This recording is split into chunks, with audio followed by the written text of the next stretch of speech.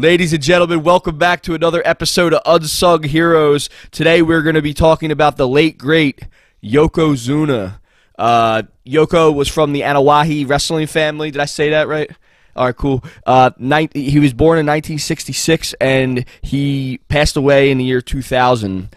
Um, one of the the earlier wrestling deaths, actually, from that era. Uh, I think Rick Rude was before him, and uh, Louie Spicolli, of course. But um, Yoko was a two-time WWF champion, a two-time tag team champion with Owen Hart, a 1993 Royal Rumble winner.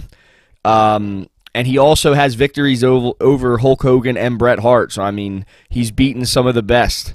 Um, he was one of the people, one of the fastest rising WWF stars that won the world title very fast. So he got, he got the belt real quick.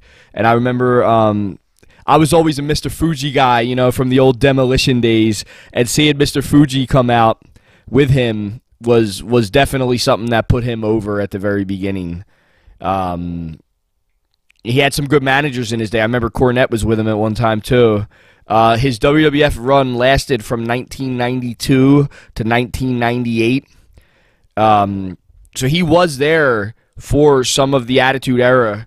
Uh, I don't really recall what he was doing during the Attitude Era. He might have even been sitting at home uh, because I know that they wanted him to lose weight. So I, I think that might have been what he was doing in '98 with the company. Um, he went indie from '98 to 2000, and uh, you know, he he was sharing the bill with people like Jim the Anvil Neidhart and stuff like that. Which, you know, it, who wouldn't want to go see an indie show with Yokozuna on it?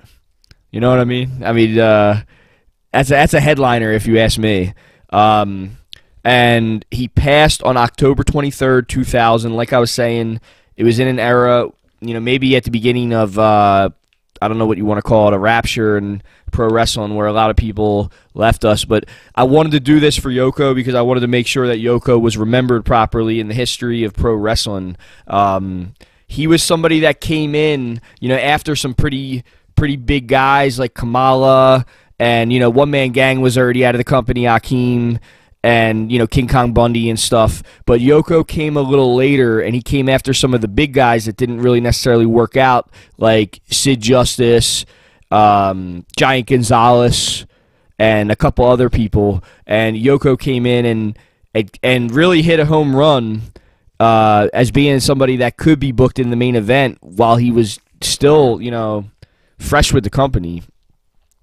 Um, you know, from the Anoa'i wrestling family. Uh, I mean, you know, he's related to, to some of the best of all time. So, uh, mad props to Yokozuna, uh, wherever he be at. And I also heard this, and this is another reason why I wanted to do this. I almost forgot.